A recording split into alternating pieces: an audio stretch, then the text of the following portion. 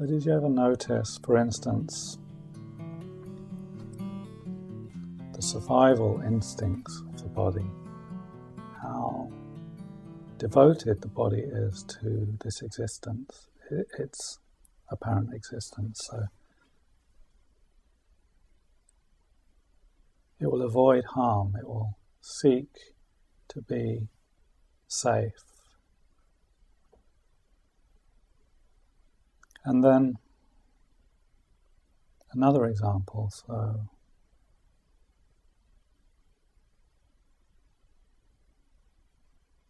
this draw towards, um, how can I put this, a loving experience. So the draw towards this life being wonderful. And that can manifest in many ways, but a common way, so suffering. so it may seem like a really strange connection to make between a loving, devoted, um, a draw towards that, a magnetism towards a loving embrace, if you like, and then to experience suffering. It seems to me very clear that suffering only exists because the draw is for something to be so perfect, so wonderful, that there would be no pain or there would be no separation. And yet, what is experienced is then not that, and so suffering occurs. So, if there wasn't love underneath the, of this, then there wouldn't be any suffering. That's quite interesting. What is identification? How does it arise? Or how does it, um, what keeps it here? What makes it strong? We speak about the belief in it. So I believe myself to be that separate one. And so we can point out the illusion and we can see the illusion. Maybe the clarity is just, it's easy to see, well, I'm not that one in thought.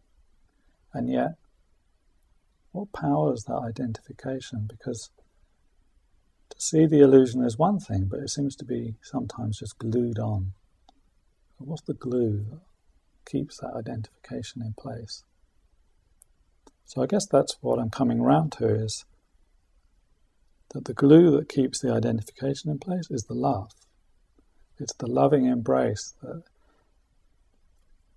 you know, until it's really deeply um, perceived, if you like, that the separate, well, separate one in thought is not us, then there's no choice but for this loving embrace to hold that and to support it and try to keep it healthy and strong. So we wonder about um, You know, isn't this selfish to seek this? Isn't it selfish to try to free myself when there's all these other things to attend to, all these other people suffering in the world, or or even just to spend all of this time um, on myself. Isn't that selfish? What I feel is that while what we're seeing is a separate self. While we believe ourselves to be the separate one, then there's no choice. You can't be anything but selfish. And it's because of the love. This love that we are is totally devoted to trying to work this out, to make this work, this separate one. That's not, uh, doesn't seem like a bad thing to me. In fact, it seems quite wonderful that that should be such a total devotion to making that work. So maybe we then begin to wake up out of this illusion. We start to realize that we are not this separate one in thought. We start to see something from another perspective. Oh, yeah, yeah, I can see this idea of who I think I am. There it is in the mind. It's not me, something else is emerging, which then, you know, this loving embrace, it becomes wider. So it's, it's also, it may still be devoted to this one. That, that story is not done yet, or that bond, that glue, is, hasn't hasn't dissolved. what do you use to dissolve glue? Um, solvent. You know, this solvent hasn't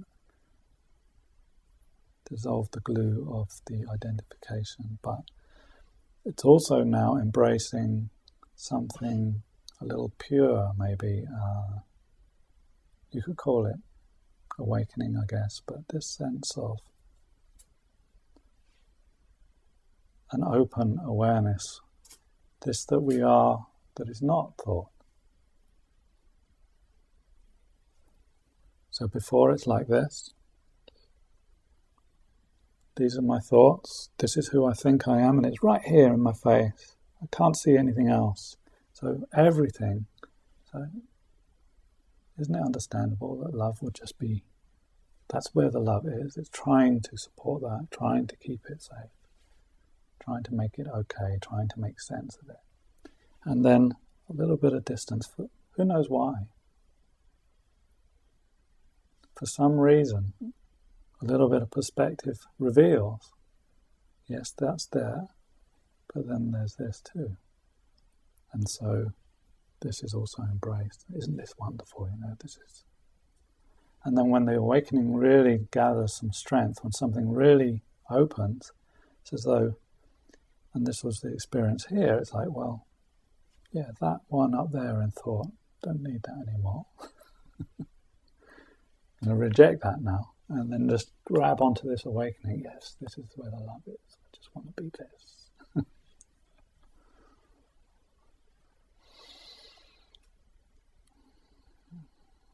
And so maybe we hold on to the awakening, or maybe we hold on to the teaching which has revealed it, and we become uh, somehow glued onto that. we glue onto an experience of what happened, onto an opening, or we glue onto a teaching. And it has to be these words. Why is he saying that? Why can't he say these words? I don't like these. I don't like what he's saying. I don't want to hear about that. I want the new non-dual chop. That's all I want to hear.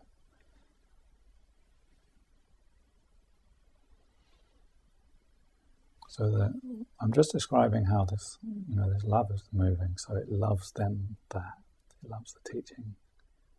And uh, can you see how this is? Uh, it becomes a limitation. Because freedom wants the elbow room, doesn't it? it? Just wants to be, hey, I don't need any limitation. I don't need an understanding.